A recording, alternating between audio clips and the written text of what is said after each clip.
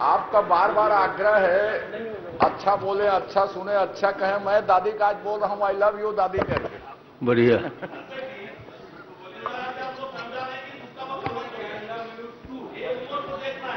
और मैं सोचता हूँ आपके निर्देशों का माननीय अध्यक्ष बाहर सबके। माननीय अध्यक्ष महोदय। जो प्रश्न था माननीय अब छोड़िए ना उसको मैंने कह दिया है जमा करने के लिए करेंगे हम। ठीक है। चूँकि उसको तो वो आई लव यू कहा है तो उसका शोषण समाप्त होना चाहिए।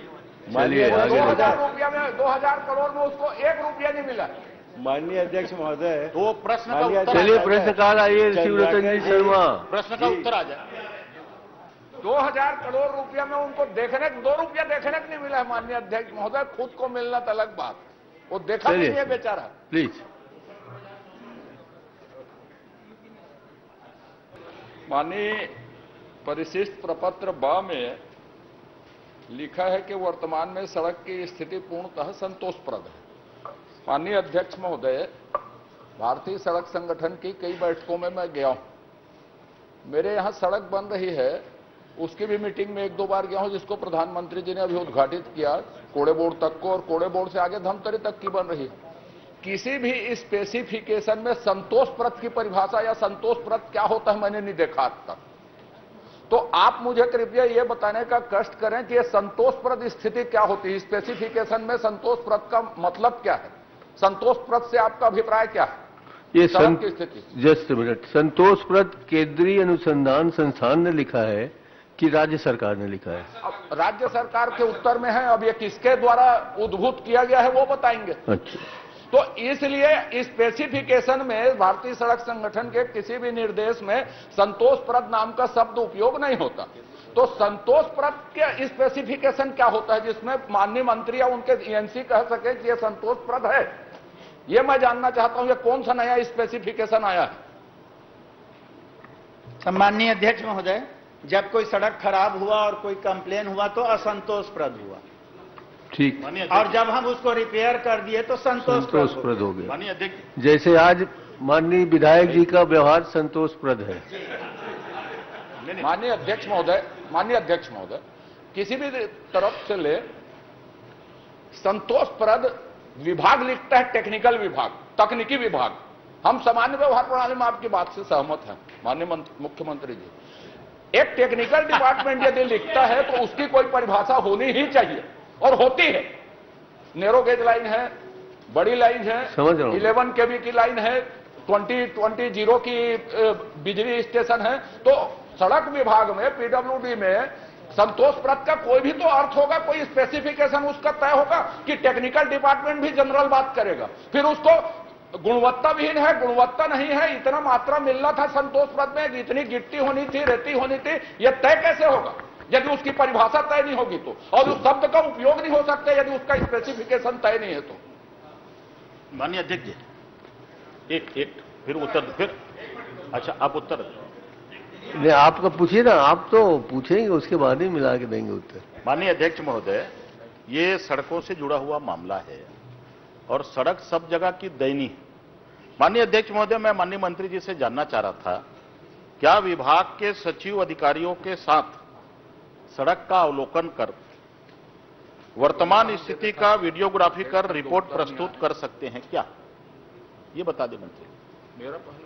सम्माननीय अध्यक्ष महोदय इस सड़क के लिए इसकी आवश्यकता नहीं है। माननीय अध्यक्ष महोदय आपसे निरम्र आग्रह है। इस सड़क को आप अभयदान दे दें कोई आपत्ति नहीं है।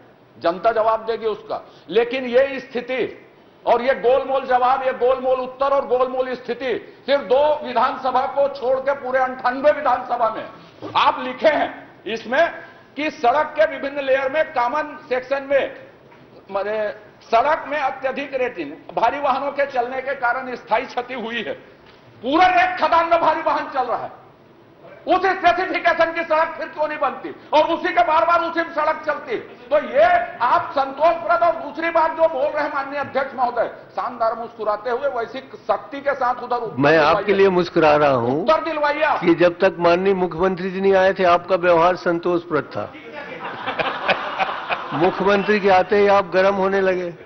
माननीय माननीय अध्यक्ष जी माननीय मुख्यमंत्री जी का पिछले महीने मेरी विधानसभा में भेंट मुलाकात का कार्यक्रम था। जी।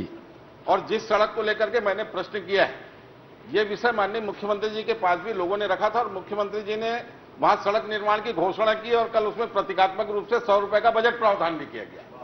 सड़क की स्थिति संतोषप्रद होती तो उसको अनुपूरक बजट में शामिल क्यों किया जाता? सौ रुपए का प्रतीकात्मक बजट प्रावधान क्यों किया जाता? सड़क की स्थिति खराब है, इसलिए तो आप बजट में शामिल कर रहे हो। अब आप सीधी बात है, डिज़ाइन कितने के लिए की गई? माननीय अध्यक्ष महोदय just a minute sir please मैं माननीय सदस्यों से जानना चाहता हूँ, संतोष और संतुष्ट। दो अलग अलग शब्द हैं। तो संतुष्ट करने के लिए उसमें फिर से व्यवस्था हो सकती है, संतोष पद को बनाया जा सकता है। आपसे आग्रह है कि टेक्निकल डिपार्टमेंट मैं समझ रहा हूँ। टेक्निकल डिपार्टमेंट ऐसे शब्दों का उपयोग नहीं कर सकता नहीं कर सकता, ठीक है। आगे नहीं है। आगे से ख्याल उपयोग किया है तो उसका स्पेसिफिकेशन उनको बताना होगा। ये आग्रह है आपसे। सौरभ सिंह जी जो आप आदेश मैं समझ गया ना मैं उसको कहता हूँ। मुख्यमंत्री जी का आने के बाद हम उत्तेजित नहीं, उत्तेजित तो- होते हैं। उनको आई लव यू बोले हाँ, क्या बोलते हैं लखमा जी अध्यक्ष जी। मुख्यमंत्री जी को भी अध्यक्ष जी। आई लव यू कर अध्यक्ष जी। नहीं आपने क्लियर नहीं किया कि आपने लकमा जी को किया कि लकमा जी के विभाग को आई लव यू बोला? लखमा जी को क्या माननीय को आई लव यू अध्यक्ष महोदय माननीय अध्यक्ष- अध्यक्ष महोदय। अध्यक्ष जी। माननीय अध्यक्ष महोदय जैसा कि आपने संधि से कहा जैसे मैं आता हूँ वो उत्तेजित हो जाते हैं। मतलब मैं प्रेरक का काम प्रेरक का काम करते हैं उत्प्रेरक। दूसरी बात ये कल नक्सिक वर्णन कर रहे थे। आज उन्होंने आई लव यू उसको कह दिया। मतलब अजय जी के अजय जी के शौक में परिवर्तन हो रहा है क्या अध्यक्ष महोदय? मान्य अध्यक्ष